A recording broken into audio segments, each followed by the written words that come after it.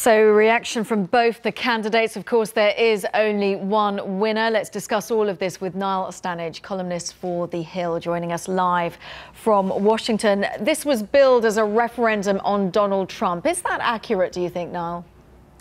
I think that that was a certain element in this. Clearly, uh, the race was nationalised in the sense that Democrats gave huge amounts of money to uh, Mr. Ossoff, about $23 million by some accounts. They weren't doing that because of the specifics of a Georgia House race. They were doing that to try to send a message to the president. Uh, they clearly didn't get the uh, message they hoped for from the voters. Now, given just how much they spent, this is the costliest, uh, my goodness, the costliest congressional election in US history. They still didn't manage to win. What does that, what, what should we read into that?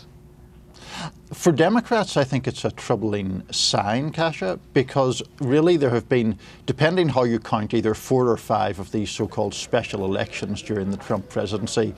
Democrats have come close. They have claimed that they have won moral victories on occasion, but they have never got actual victories. I think that's something that is uh, troubling to Democrats now, even though this district uh, yesterday was a district that the Republicans had carried by a very large margin in uh, November's uh, elections. Yes, they're describing this as a moral victory, but it is a bit hollow given that they haven't won it.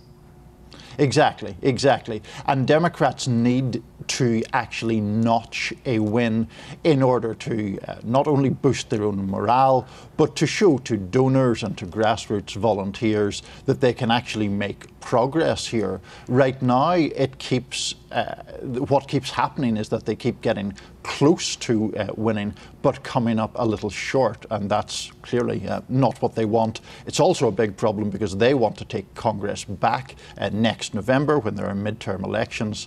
So far, the evidence for that is, is mixed at best from a Democratic perspective. Now, of course, this was a, a, a strong Republican area. Uh, the weather was terrible as well. But we, we, what should we say that this win was down to? It can't just be the weather. Are we seeing real energized Republicans here? I think we are. I think one of the things that I feel is a little underreported, Kasia, is that it seems to me that Republican uh, support and loyalty to the party is stronger and more resilient than people think.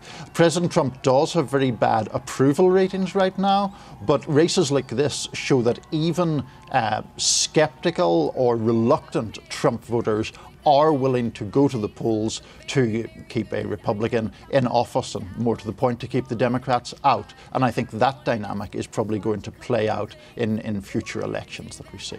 Niall, as always, great to talk to you. Niall Stanage there, columnist for The Hill. Thank you very, very much.